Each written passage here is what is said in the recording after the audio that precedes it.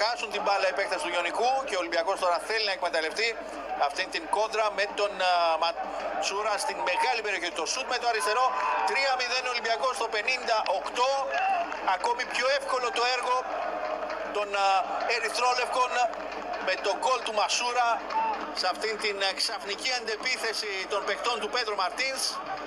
Μέσα σε δύο λεπτά ο Ολυμπιακός κάνει τρία τα τέρματά του. Δείτε ξανά Αγκιμπού Καμαρά πως κατευθύνει την αντεπίθεση. Αφήνει στον Μασούρα ο οποίος θα φέρει την μπάλα στο αριστερό και θα πλασάρει ιδανικά τον α, Λευτέρη Χουτεσιώτη για το Ιωνικός Ολυμπιακός 0-3.